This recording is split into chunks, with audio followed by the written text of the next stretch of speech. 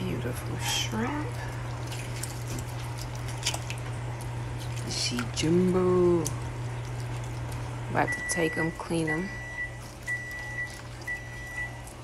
Get these shells and legs off. Yo, so I've got some white onion, some beautiful red onion that I've chopped up. I'm gonna go ahead and take it and throw it in here with our cauliflower, our beautiful broccoli, our carrots, our squash, our zucchini, all of that good stuff. Get it all in there.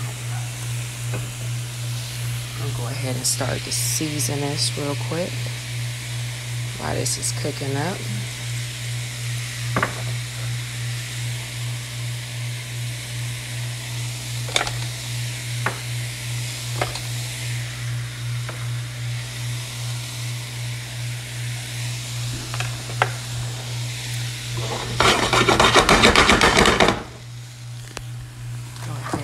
Butter in there.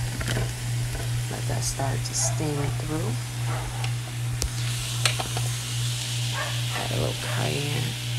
Give just a little Cajun flair, not a lot. Italian seasonings.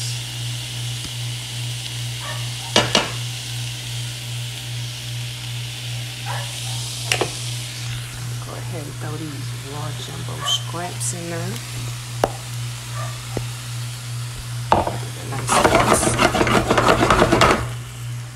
Come back, I'll show you what it look like. Let that simmer up. Look at them jumbo scrimps. just want to let that steam go through there. Give it a nice toss. What I like to do, because I'm making a nice butter sauce, let's get the vegetables and the scrimps moved over. That butter on the bottom. Throw everything on top. You can see they're not completely done yet. They're still a little opaque. So let's give them a nice little turn. That way you can make sure all of them cook.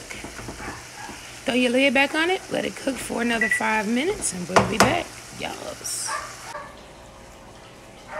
What you know about that? Ooh, mukbang. About to get it done. Okay, so it has simmered down. Onions and everything, squash, broccoli, and everything has cooked nicely. You guys 100% honey. The mesquite, very important. Don't want regular. The mesquite has a nice char flavor to it, which is really nice. So I'm gonna take this, toss it in there. Yes, making this beautiful honey butter glaze. And uh, let's plate it up.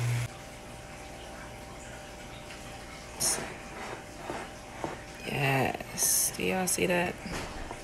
Gorgeous. Ooh, you see all them herbs and seasoning? That squash, the zucchini, that broccoli, them scrimps, the jumbo scrimps. This looks so good.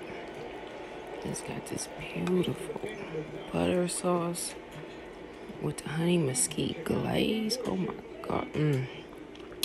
I'm about to do this dirty.